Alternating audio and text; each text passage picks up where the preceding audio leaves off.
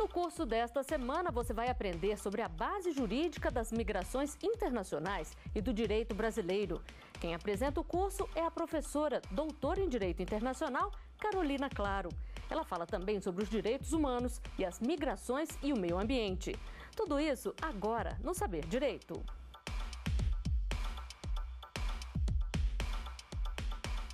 Olá a todas e a todos. No programa Saber Direito desta semana, trataremos do tema das migrações internacionais. O tema das migrações internacionais, ele se insere no direito internacional e também em outras áreas do direito, mas nosso enfoque esta semana será no direito internacional vinculado às migrações internacionais. As aulas serão divididas da seguinte forma: hoje, nesta aula, na primeira aula, nós vamos discutir uma introdução às migrações internacionais. Então, o que são as migrações, alguns conceitos básicos e também a sua relação com o direito. Na segunda aula, nós discutiremos o direito internacional das migrações, então todo o arcabouço jurídico de migrações no direito internacional, seja ele no aspecto global ou regional. Na terceira aula, discutiremos o direito das migrações no Brasil. Então, quais as leis, quais as normas jurídicas que nós temos no Brasil sobre migrações internacionais e ligar um pouco também com o contexto atual de política migratória no Brasil e de tentativa de modificação da legislação atual sobre estrangeiros no nosso país. A quarta aula vai tratar dos direitos humanos dos migrantes. Nós discutiremos alguns casos bastante atuais sobre grupos vulneráveis no tema das migrações internacionais. E a quinta aula será dedicada ao tema das migrações e meio ambiente, dos chamados refugiados ambientais ou migrantes ambientalmente forçados. Então, hoje, para começar nosso curso, nós discutiremos migrações internacionais. Então, para começar, o que são migrações? Migrações são movimentos no espaço geográfico, movimento de qualquer ser vivo. No nosso caso, movimento de pessoas no espaço geográfico. Esse espaço geográfico pode ser o espaço geográfico interno ao Estado, então dentro das fronteiras de um Estado, que se chama migração internacional. Se o migrante ultrapassar as fronteiras políticas entre os países, ele será um migrante internacional. Ocorre aí uma migração internacional, porque houve a passagem entre fronteiras politicamente definidas pelos Estados.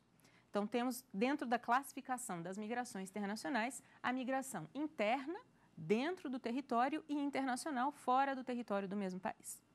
E é importante saber que a migração sempre existiu na história humana, antes mesmo da, da existência dos estados como nós conhecemos hoje, que derivam, a organização deles deriva da Paz de Westfália de 1648.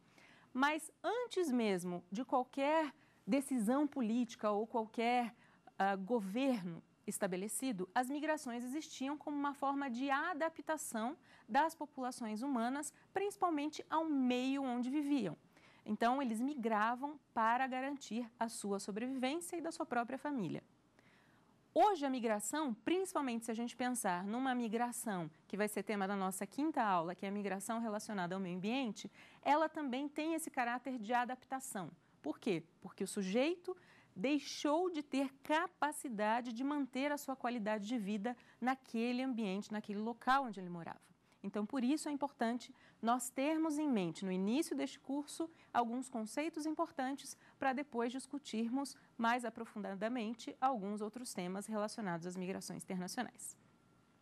Uma outra uh, classificação das migrações também pode ser migração voluntária, aquela em que o sujeito migrante escolhe migrar, ele não é compelido por nenhum fator externo a migrar, e também Contrariamente a essa, a migração forçada ou compulsória, na qual o sujeito migrante precisa migrar por algum motivo. Algum motivo levou o sujeito migrante a realizar esse ato de migração.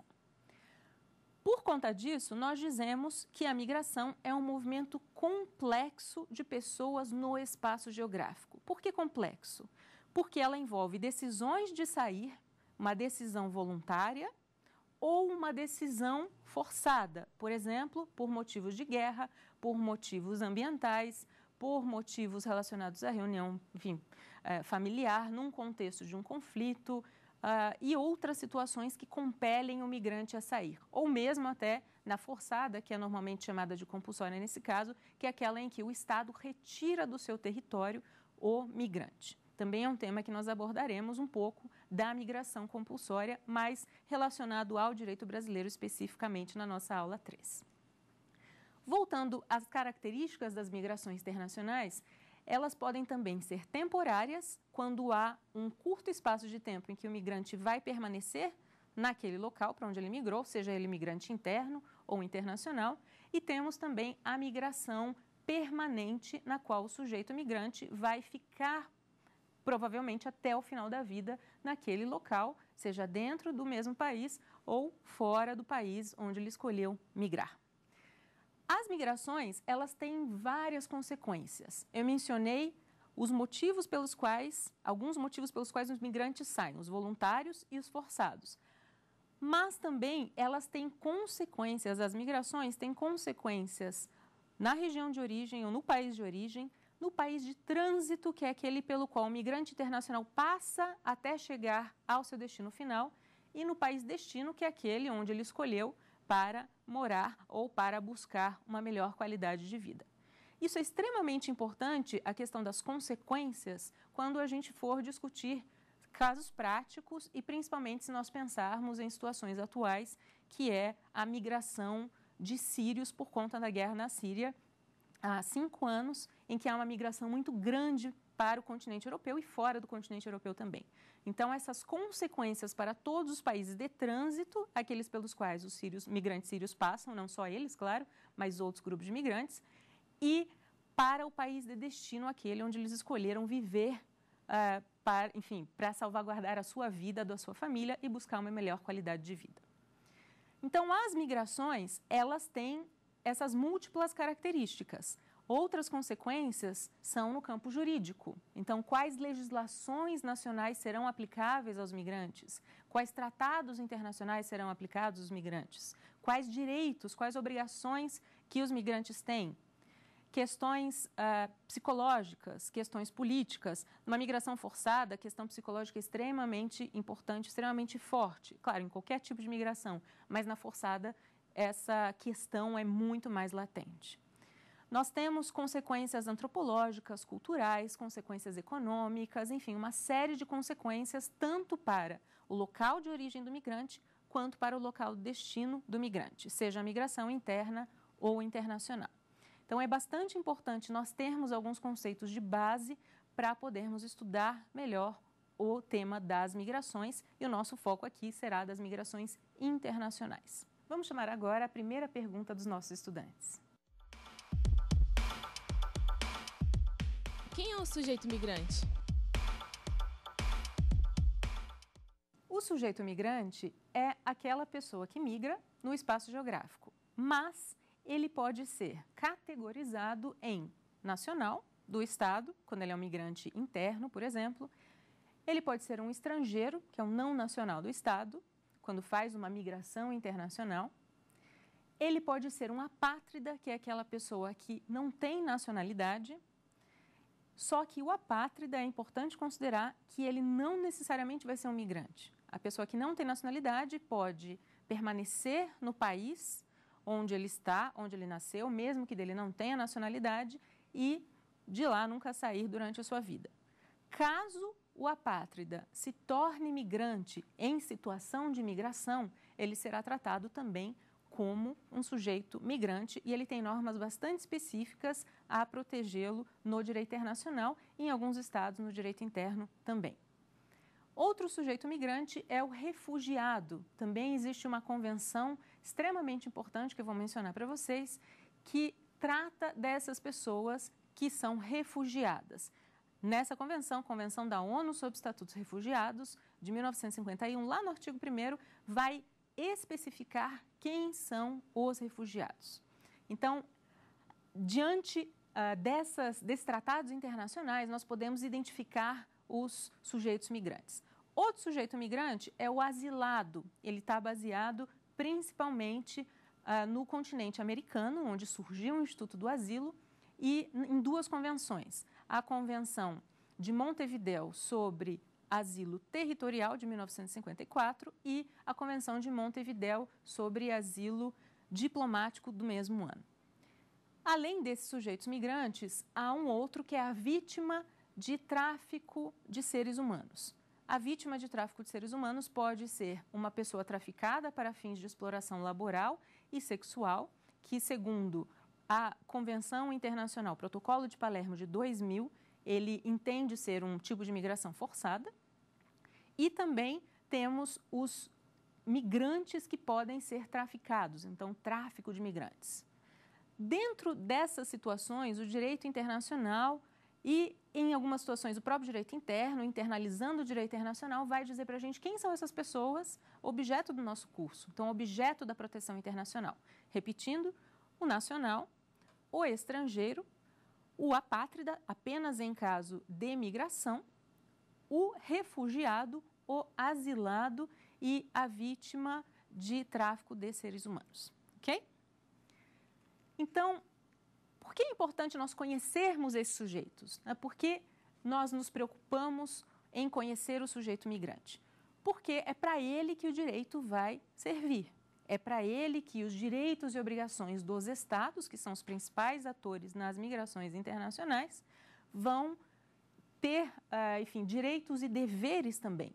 Porque a gente tem que lembrar que qualquer pessoa, seja ela nacional ou não do Estado, tem direitos, mas também tem deveres para com os Estados. Deveres de respeitar as leis, por exemplo. Ok? Então, dentro uh, dessa ideia de sujeito migrante, nós temos a legislação dos Estados que vai dizer como o migrante pode entrar no seu território.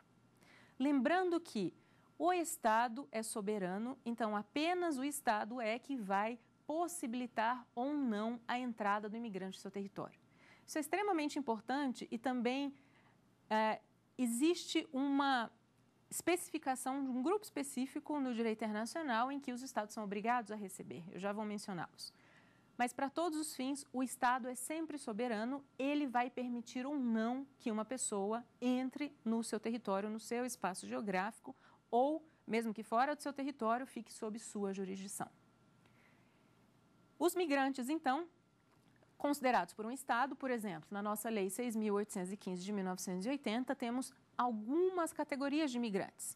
Os turistas, temos os desportistas, os jornalistas, os migrantes econômicos, nós temos o próprio refugiado, dentro da Lei 9474 de 1997, nós temos o asilado, que também é protegido uh, no, na nossa normativa interna em tratados internacionais internalizados pelo Brasil.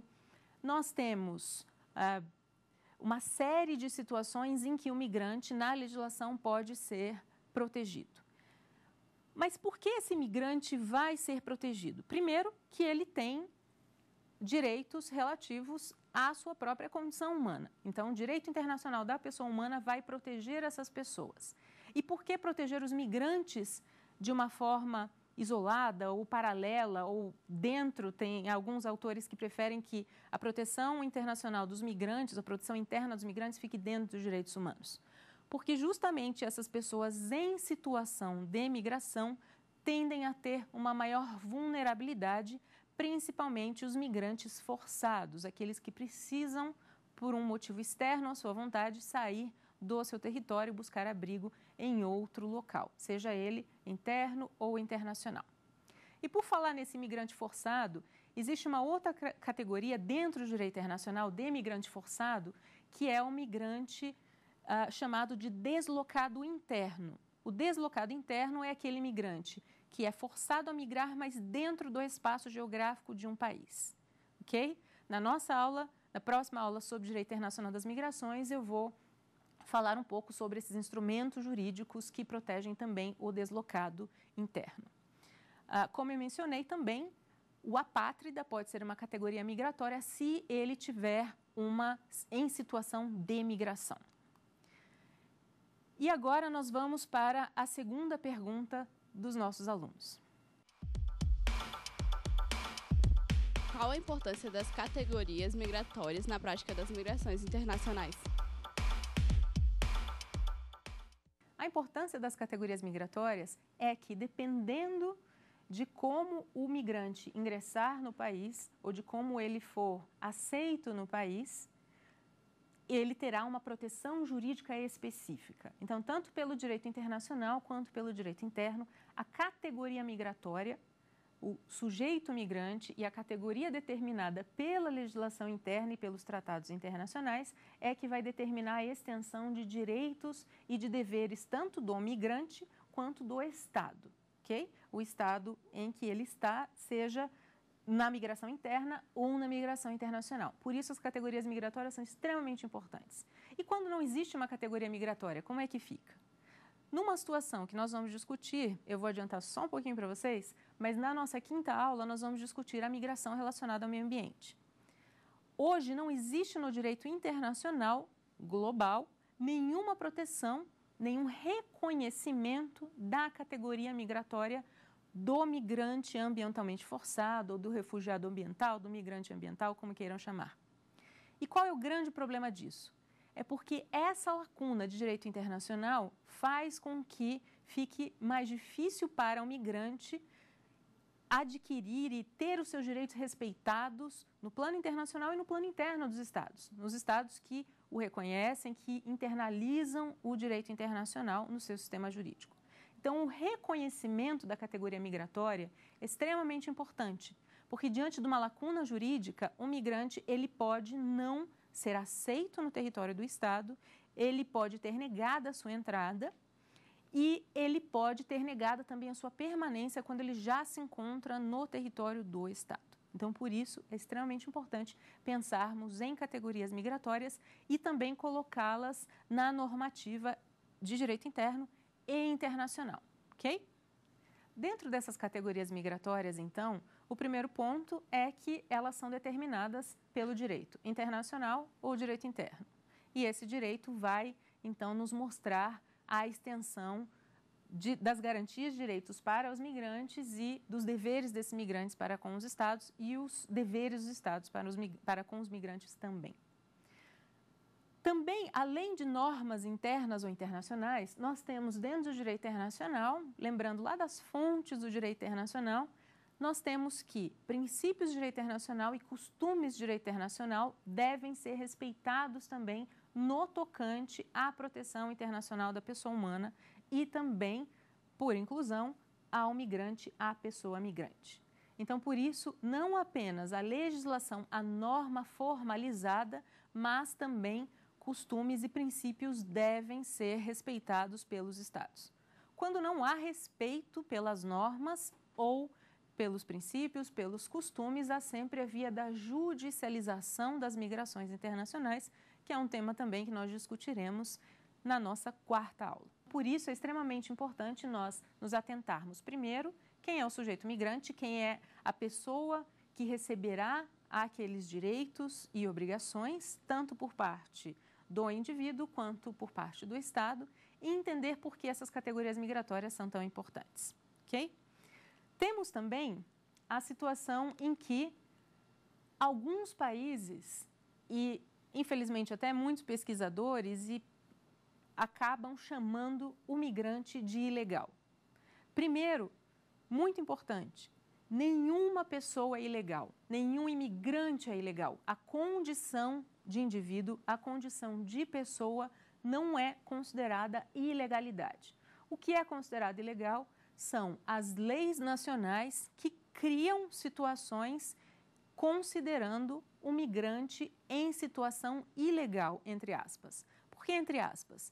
Porque essa migração, na verdade, essa condição migratória, ela é de regularidade ou irregularidade perante a legislação migratória do Estado onde esse migrante internacional se encontra, ou de documentação ou indocumentação desse migrante. Por isso, nós chamamos no direito internacional esses países que, criam, que criam legislações que dizem que o migrante é ilegal porque entrou sem visto, porque permaneceu por mais tempo que o visto permitia, entrou sem passaporte ou utilizou de algum argumento para se declarar solicitante de refúgio e na verdade não era, enfim. Esses países, essa situação toda é chamada de criminalização das migrações. E é algo, infelizmente, crescente no mundo e algo extremamente preocupante. Por quê?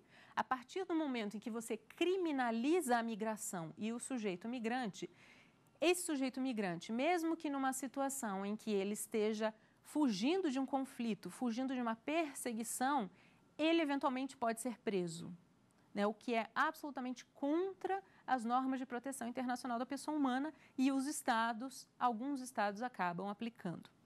Um exemplo bastante concreto para vocês. Dentro da, desse tema da criminalização, as leis restritivas podem impor a detenção de imigrantes. Essa detenção de imigrantes, ela também não é considerada legal para o direito internacional, principalmente em categorias migratórias mais vulneráveis.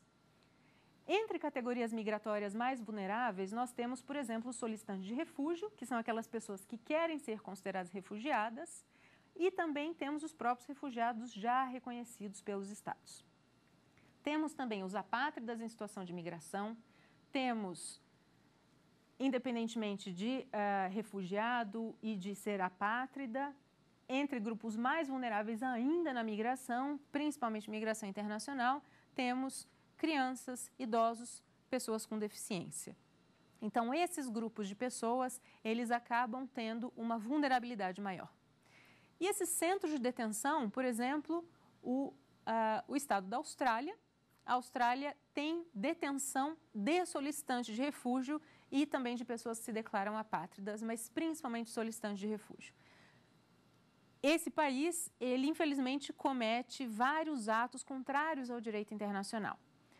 Lá na Austrália, eles trazem esses migrantes, né, quando os migrantes chegam de barco, que são chamados de boat migrants, ou são aqueles migrantes que vêm ah, pelo mar, em embarcações geralmente bastante precárias, mas fugindo de alguma guerra, fugindo de algum conflito, de alguma perseguição, também migrantes econômicos. Eles tentam chegar no território, são interceptados em alto mar ou nas águas territoriais do país e são levados para centros de detenção que a Austrália, no caso, chama, chama de centros de processamento, processamento do pedido de refúgio ou da regularização migratória daquele migrante que veio pelo mar. Só que, além disso, essas pessoas são levadas para centros de detenção offshore, que ficam fora do território australiano. Então, a Austrália tem centro de detenção em duas ilhas próximas, na Papua Nova Guiné e em Nauru, em que esses migrantes são detidos, são separados os homens das mulheres e crianças, e essas pessoas sofrem toda sorte de violação de direitos humanos. Então, não apenas a detenção de migrantes, ela é ilegal para o direito internacional, como ela fere vários tratados internacionais de direitos humanos. E qual a forma de se buscar a garantia de direitos para essas pessoas? A via da judicialização é uma delas, né, acaba sendo a mais eficaz uh, para grupos humanos, mas muitas vezes nessa situação a via política também é necessária. Por quê? Porque esses solicitantes de refúgio, ou esses refugiados, ou esses apátridas em situação de migração, não têm acesso às vias judiciais do país, quando eles se encontram fora do território ou dentro do território mais em centro de detenção. Então, eles têm seus direitos de mobilidade humana todos cerceados. Por isso, a questão de centro de detenção é bastante discutida recentemente no direito internacional, mas é bastante discutida e ela fere vários, várias normas, princípios e costumes de direito internacional. Um costume bastante importante é que é uma norma jurídica, está na Convenção da ONU sobre Estatutos dos Refugiados, está na nossa legislação migratória, a lei, nossa lei sobre refúgio, Lei 9474 de 1997, mas também se tornou um costume de direito internacional que é chamado de non-refoulement ou não devolução. Por esse princípio, todo solicitante de refúgio não pode ser impedido de entrar no território do país e nele permanecer. E ele não pode ser extraditado ou deportado ou expulso para país em que a sua vida e integridade física estejam comprometidas.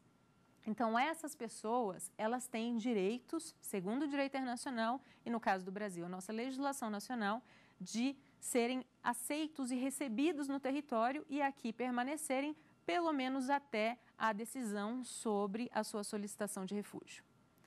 Mas qual é o problema no caso do Brasil?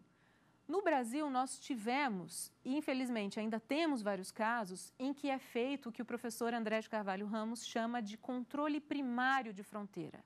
Então, na fronteira estatal, naquela fronteira vigiada, muitas vezes o agente de fronteira, quando se confronta com o solicitante de refúgio, ele vai dizer que não. Na, enfim, subjetivamente, ele vai entender que aquela pessoa não é solicitante de refúgio e eventualmente viria para o país para se tornar um migrante econômico ou, eventualmente, infelizmente, as pessoas pensam assim, que eles viriam para cometer crimes. Mas, claro que eles teriam acesso a meios para determinar se aquela pessoa cometeu, eventualmente, crimes mesmo fora do território brasileiro. Que, inclusive, é uma situação em que o solicitante de refúgio, de acordo com a Convenção da ONU sobre Estatutos Refugiados, de acordo com a nossa lei, seria uma uma cláusula que exclui o refúgio. Voltando ao tema do controle primário de fronteira, nós temos uma situação em que o solicitante de refúgio chega na fronteira vigiada e pede para ser considerado refugiado. Só que o agente de fronteira não tem o poder discricionário de dizer se aquela pessoa é ou não refugiada. Há todo um procedimento dentro da nossa legislação, Lei 9474 de 1997, que é a Lei Brasileira de Refúgio, que vai determinar que o agente de fronteira conceda ao solicitante de refúgio um formulário, o qual ele vai preencher, vai receber um protocolo com uma residência provisória garantida pela legislação também, e com essa residência provisória ele pode tirar documentação, inclusive para poder trabalhar no território nacional. E a própria lei vai dizer que esse pedido, essa solicitação de refúgio vai ser enviada pelo agente de fronteira, pela Polícia Federal, ao CONARE, que é o Comitê Nacional para Refugiados, também do Ministério da Justiça. E o CONARE, que é um órgão colegiado, vai deliberar sobre a situação, se aquela pessoa é ou não refugiado. Mas qual o problema? O problema é que se o agente de fronteira, num controle primário e numa ideia subjetiva de que ele, agente de fronteira, pode determinar se a pessoa é refugiada ou não, ele descumpre norma de direito interno e internacional no momento em que ele subjetivamente entende que aquele sujeito não é solicitante de refúgio, porque ele pode ter, enfim, a ideia é que ele tenha outras intenções no país que não ser considerado refugiado.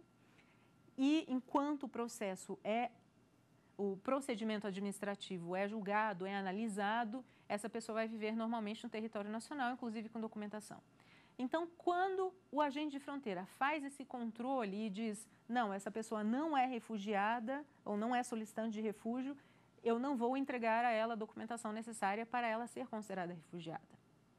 O que, que acontece nesses casos? Nesses casos, o Brasil fere tratados internacionais, fere costume internacional aí que eu queria chegar, que é de se receber nas fronteiras, de não se rechaçar nas fronteiras nacionais a entrada do solicitante de refúgio. Não importa se, no caso, a solicitação é válida, tem base na Lei 9474 de 1997 ou na Convenção da ONU sobre Estatutos Refugiados. Não cabe ao agente de fronteira dizer se aquela pessoa será um refugiado ou não. Cabe ao CONAR e ao órgão colegiado do Ministério da Justiça. Por isso, quando o agente de fronteira impede a entrada, rechaça a entrada, ele vai contra a legislação nacional e contra tratados internacionais. Então, em tese, o Brasil poderia ser demandado internacionalmente pelo desrespeito ao princípio da não devolução do non-refoulement. Esse tema é extremamente importante quando se diz respeito a uma categoria migratória, aos refugiados, aos solicitantes de refúgio e aos apátridas em situação de refúgio. Mas há outras situações em que também o sujeito migrante ele pode ter seus direitos violados e todas essas situações podem recair na judicialização das migrações, que nós veremos na aula 4, tanto no direito interno estatal quanto no direito internacional, onde também é possível e alguns casos importantes deverão ser analisados. A questão, voltando um pouco também, a criminalização das migrações, é importante nós considerarmos que, primeiro, nenhuma pessoa é ilegal. A condição de imigrante não é legal, ilegal. por ele ser pessoa, ele não está em situação ilegal. Ele está, segundo a lei do país, documentado ou indocumentado em situação regular ou em situação irregular. Quem vai determinar isso é a categoria migratória disposta na legislação. No nosso caso, a nossa lei migratória atual é a Lei 6.815 de 1980, que é o nosso Estatuto Estrangeiro, e, no caso do refúgio, a Lei 9474 de 1997. Então, dentro dessas categorias migratórias, o sujeito migrante, antes de entrar no país, ele precisa portar um documento de viagem, que é o passaporte, e, em alguns casos, ele precisa aportar a autorização de viagem, que é o visto. O visto é aportado no passaporte porque ele é uma autorização de viagem. Claro que o Brasil possui acordos bilaterais e multilaterais de isenção de visto e até de isenção de passaporte no âmbito do Mercosul. Então, no Mercosul, ao invés de nós utilizarmos passaporte para viajarmos entre os países membros e associados do Mercosul, nós podemos, no caso dos brasileiros, ir com carteira de identidade, não carteira profissional, não carteira de motorista, RG, carteira de identidade registro civil, ok? Então, essa questão da migração, ela perpassa vários temas. Eu mencionei para vocês o passaporte, que é o documento de viagem, o visto, a autorização de viagem, e deve-se considerar que a migração é um tema extremamente importante, extremamente atual. Por quê? Segundo dados mais recentes da ONU, nós temos 244 milhões de imigrantes no mundo, ou seja, de migrantes internacionais. Esse é um número aproximado e os dados mais recentes uh, são de dezembro de 2015. Então, há alguns meses já que nós não temos dados mais atualizados. De toda forma, é extremamente importante nós levarmos em conta que 244 milhões de pessoas, elas trazem bagagens, elas trazem é, bagagens, bagagens políticas, é, psicológicas, culturais, linguísticas, enfim, há toda uma complexidade na migração, como eu mencionei, no país de origem, no país de trânsito e no de destino. E no nosso campo, no campo do direito, é extremamente importante nós considerarmos todas essas fases. Por quê? Porque os direitos e os deveres, tanto do indivíduo quanto do Estado, vão ser determinados por normas internacionais de direito interno ou direito internacional relacionados a essas fases da migração e a essas categorias migratórias. Nessas categorias migratórias, reforçando, elas vão então determinar dentro das migrações internacionais a proteção do sujeito migrante. Por isso, os conceitos de passaporte e visto que eu lancei para vocês é extremamente importante. Outro conceito que eu cheguei a mencionar, mas sem nomeá-lo, é o de fluxo migratório misto. Esses migrantes que vêm todos numa leva né, de migração, geralmente vêm por barco, alguns vêm por terra, são pessoas que vêm num mesmo grupo, mas pessoas de categorias migratórias diferentes. Então, o tema dos fluxos migratórios mistos para o direito, ele é relativamente novo, apesar de que ele sempre existiu. Dentro do conceito da Organização Internacional para as Migrações, um conceito que eles lançaram em 2009, eles dizem que o fluxo migratório misto é aquele em que vários grupos de migrantes, várias categorias migratórias se unem para realizar a migração juntos. Então, geralmente, quando pensamos em migrantes vindo pelo mar, nós temos entre eles solicitantes de refúgio, às vezes refugiados já reconhecidos pelos países, temos apátridas em situação de migração, temos migrantes econômicos e muitos migrantes em situação irregular. Por isso, essa categoria, essa criminalização das migrações, ela é mal vista pelo direito internacional e pela própria proteção internacional da pessoa humana, como sendo não a condição da pessoa, mas sim a sua situação migratória. No fluxo migratório misto, é importante, então, nós termos em conta que essas categorias migratórias são diversas e, portanto, cada migrante deverá ser tratado de uma forma diferente. Mas, infelizmente, na prática, em alguns países, como eu mencionei para vocês, os migrantes chegam no país ou são interceptados em alto mar quando migram por, pelo mar e eles têm seus direitos humanos violados porque às vezes tem o rechaço na fronteira, né, no controle de fronteira, e às vezes eles são até retornados para o país de origem ou para o país mais próximo. Essas questões são bastante atuais e são bastante controversas no direito internacional. Também extremamente importante, nós temos em consideração, ainda na nossa aula introdutória hoje sobre migrações internacionais, que eu mencionei para vocês como uma segunda é, categoria de sujeito migrante como sendo o estrangeiro. Mas quem é o estrangeiro? O estrangeiro é o não nacional do Estado. Então, nós utilizamos o critério de nacionalidade para determinar quem é nacional do Estado, quem tem direito de nacionalidade e quem não tem, quem é o estrangeiro. A nacionalidade, ela pode ser adquirida sempre de acordo com a legislação do país e ela pode ser adquirida no momento do nascimento, quando a pessoa nasce, ou a qualquer momento na vida após o nascimento. No nascimento, a nacionalidade ela tem geralmente dois sistemas. O sistema ligado ao solo, o ius soli, e o sistema de ius sanguine, aquele ou ius sanguinis, que é o ligado à afinidade parental. Além disso, na verdade, nós temos esses dois sistemas, mas alguns países, como no nosso país, no Brasil, nós utilizamos o sistema misto, que é uma junção, lá no artigo 12 da Constituição Federal, 12.1 da Constituição Federal, nós temos a, a possibilidade tanto do ius soli quanto do ius sanguinis. E por que a nacionalidade é um critério extremamente importante? Porque a nacionalidade, a existência da nacionalidade vai determinar os direitos e os deveres que a pessoa tem para com o Estado, do qual é nacional, e em situação de imigração internacional, haverá então essa categorização do migrante como sendo o não nacional, o estrangeiro. Mas é possível que a pessoa tenha mais de uma nacionalidade? Sim. A depender não só da legislação ah, do país onde a pessoa nasceu, mas ah, da legislação da nacionalidade dos pais. Então, por exemplo, uma pessoa que nasce no Brasil, ela pode ter a nacionalidade brasileira e o SOLE, ou e também, se o país de nacionalidade do pai ou da mãe permitir o sistema de ius sanguinis, essa pessoa vai nascer ou vai poder adquirir duas nacionalidades já no nascimento, duas ou mais nacionalidades no nascimento. Uma outra situação que eu também mencionei como sendo um sujeito migrante é o apátrida, aquela pessoa que não tem nacionalidade. Para ele, a questão da nacionalidade é ainda mais importante. Por quê?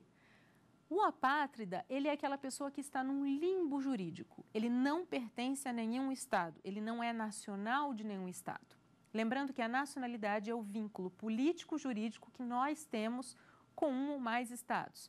E esse vínculo político é extremamente importante para todos os efeitos da nossa vida, para todas as situações da nossa vida, para a documentação, para nós ah, podermos ah, frequentar a escola, para o trabalho, enfim, para a compra de, de bens, para uma série de situações, todas do nosso dia a dia, da nossa vida, elas são condicionadas pela documentação e muitas vezes essa documentação vai ser relacionada à nacionalidade.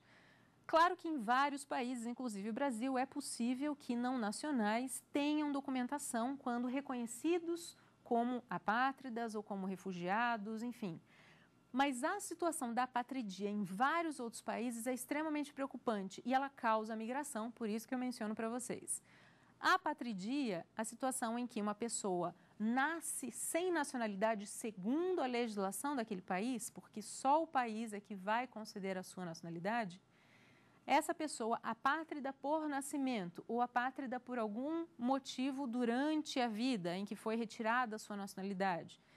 Esse apátrida vive nesse limbo jurídico, ele é um cidadão, ele se diz um cidadão de nenhum lugar do mundo porque não tem nenhum estado que o proteja.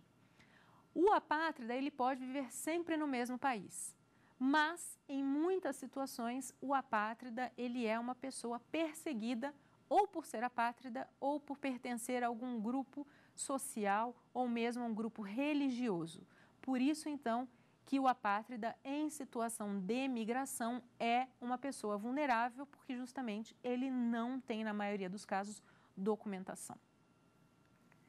Também, dentro uh, da migração internacional, a vulnerabilidade é extremamente importante ser considerada. Por quê? Vulnerabilidade dos migrantes quando estão principalmente em situação de migração forçada, não somente nela, mas principalmente nela. Desses 244 milhões de migrantes, boa parte deles, cerca de 55%, as estatísticas variam um pouco, são de mulheres. E também há uma grande quantidade de crianças, idosos e pessoas com deficiência. qualquer tipo de deficiência. Essas pessoas têm maior vulnerabilidade não só pelo trânsito né, para chegar ao destino que eles pretendem, mas também, enfim, onde ocorrem, podem ocorrer violações de direitos humanos, mas também a chegada no país de destino. Então, a vulnerabilidade desses imigrantes, né, principalmente desses grupos, é muito maior no percurso da migração. E esse percurso da migração vai se estender também para a chegada no país de destino. Menores desacompanhados também, as crianças com os seus pais ou responsáveis, e também menores desacompanhados, que é algo que tem acontecido com bastante frequência entre países da América Central e Estados Unidos. Então, muitas, muitos pais, muitas famílias têm mandado as crianças para os Estados Unidos, justamente para poder, uh, enfim, dar melhor qualidade de vida para essas pessoas. A questão da vulnerabilidade dos migrantes também está relacionada ao fato de que aos estrangeiros é muito mais difícil ter acesso a serviços básicos, por exemplo, aos serviços públicos no país de origem ou mesmo no país de trânsito. Por isso é extremamente importante que as legislações nacionais e o próprio direito internacional amparem essas pessoas nesse percurso da migração para que o acesso a serviços públicos, acesso à documentação, enfim, acesso às condições normais de vida sejam possíveis. Vamos agora à terceira pergunta dos nossos estudantes. Qual a relação entre mobilidade humana e direito? A mobilidade humana e o direito, ela implica em várias situações. Eu mencionei para vocês que a migração é um movimento complexo que tem consequências tanto no país de origem, quando é migrante internacional, quanto país de trânsito e destino. Mencionei alguns tratados internacionais também. Então, para o direito, nós temos o direito interno dos estados, que devem ter, ou enfim, na maioria das vezes tem legislação específica sobre tratamentos de migrantes e quando não o tem, podem uh, proteger os migrantes dentro da legislação relativa à proteção uh, dos indivíduos. No direito internacional, nós temos normas de direito internacional também voltadas para grupos migrantes, e essas normas de direito internacional nós discutiremos na aula 2 uh, eh, sobre direito internacional das migrações especificamente. Então, toda ligação entre a migração, a mobilidade humana e o direito é porque há implicações em todas as áreas, não apenas na normativa geral de estrangeiros no direito interno e no direito internacional, mas também, por exemplo, em situações uh, previdenciárias, em situações uh, de contratos, em situações de direito de família, ou seja, em qualquer área de direito que nós possamos pensar, há uma ligação com as migrações internas ou internacionais. No nosso caso, nas migrações internacionais, também é bastante importante e interessante pensar numa forma de se comparar às legislações, ah, justamente para, por meio do direito comparado, nós conhecermos essa, uh, os fatores e as consequências para as pessoas que migram em termos da vida deles. Então, em termos previdenciários, em termos familiares, né, em termos de direito de família, em termos de direitos contratos, enfim, numa série de situações que não só a categoria migratória. Então, o direito está presente em todas as situações, em toda a vida do migrante também. A migração é um direito humano. Ela é um direito humano que está na Declaração Universal dos Direitos Humanos de 1948, mais especificamente nos artigos 13 e 14 dessa declaração. No artigo 13 da Declaração Universal de Direitos Humanos, ele vai dizer que todo ser humano tem direito à liberdade de locomoção e residência dentro das fronteiras de cada Estado. Ou seja, a mobilidade humana é protegida dentro do direito internacional. Lembrando que a Declaração Universal de Direitos Humanos, ela é um instrumento de soft law, ela não é vinculante, juridicamente vinculante aos países mas ela se tornou, em grande parte, costume internacional e também foi internalizada pelos países, por isso da sua importância dupla, né, ou tripla. Enfim, ela é tão, tanto importante como norma de soft law, como princípios e costumes e como norma de direito interno, como reflexo nas normas de direito interno dos países. No mesmo artigo 13 da Declaração Universal de Direitos Humanos, ele vai dizer: todo ser humano tem o direito de deixar qualquer país, inclusive o próprio, e a este regressar. É a confirmação, então, de que a mobilidade humana é permitida e é permitida como um direito humano, inerente à pessoa humana. Já o artigo 14 da declaração, ele vai dizer: todo ser humano vítima de perseguição tem o direito de procurar e de gozar asilo em outros países. Esse é o inciso 1 do artigo 14. A questão de se buscar asilo, ela pode ser entendida também como a busca pelo refúgio, não só o asilo político, mas buscar-se refúgio, proteção sob a Convenção da ONU sobre Estatutos Refugiados de 1951, que será também objeto da nossa segunda aula.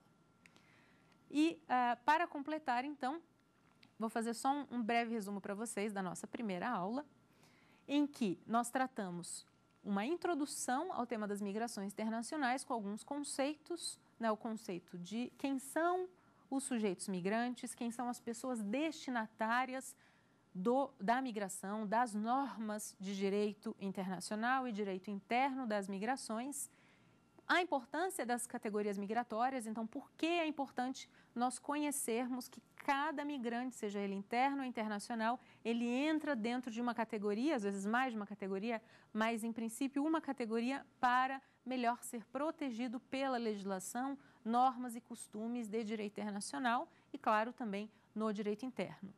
E também a importância do estudo das migrações internacionais, a importância de se pensar a migração como um direito humano e todas as consequências que essa migração tem no direito e em outras áreas da vida humana. Obrigada, até a próxima aula. Ficou com dúvidas sobre o assunto? Então mande um e-mail para saberdireito.stf.jus.br. Você também pode estudar pela internet acessando o site tvjustiça.jus.br.